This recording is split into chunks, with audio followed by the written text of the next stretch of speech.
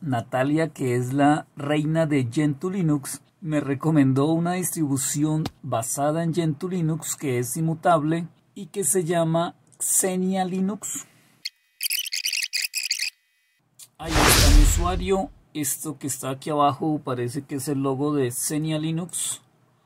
Tenemos Genome.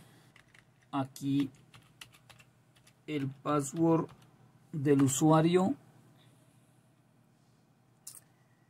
y aquí está cargando el entorno de escritorio Genome. Y vamos a abrir un emulador de terminal. Está en inglés. Ya instalé NeoFetch. No puede faltar NeoFetch.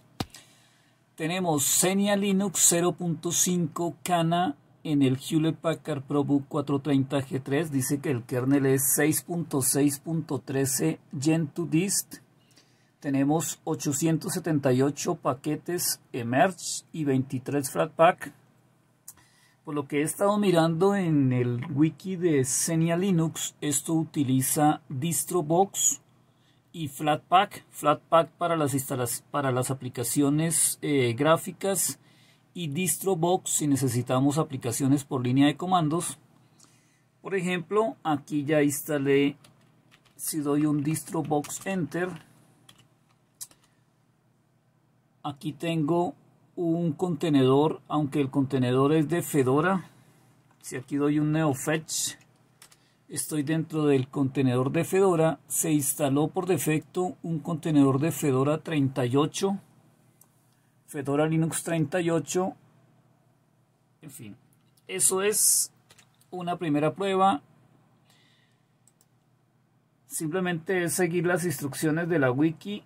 Están bastante sencillas. La instalación tomó algunas, qué sé yo, unas dos horas más o menos. Dos horas haciendo la instalación. Instaló LibreOffice. Necesito un navegador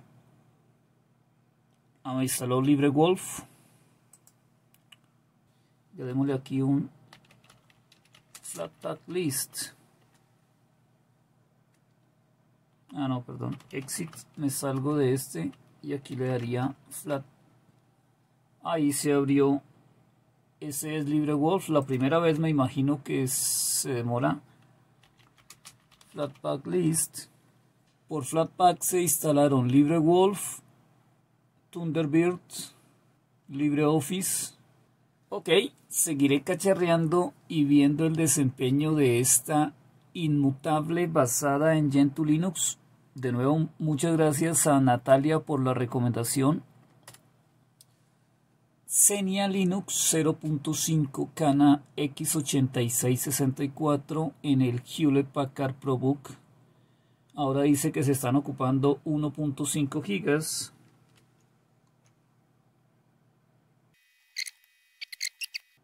Aquí está la página de Xenia Linux. Xenia Linux. Una página hecha por un backend.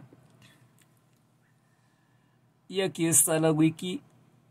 La wiki de Xenia Linux. Ahí está. Seguir las instrucciones de la instalación. Seguí la instalación guiada hay que, hay que instalarlo, lo, lo, mejor es instalarlo desde una live de Fedora Linux. Instalé la live de Fedora 40 y seguí estas instrucciones. Ok, terminamos.